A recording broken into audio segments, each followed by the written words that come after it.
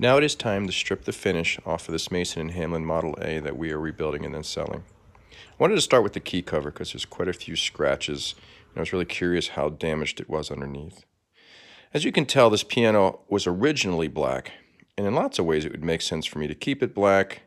It's a more popular color, it's easier to sell, it's easier to hide imperfections, but there's also this beautiful red mahogany veneer underneath. So I'm really, I'm kind of torn as to what to leave it at. So I'm going to make that decision as we go here. But so I started by sanding it off just to see what it looked like.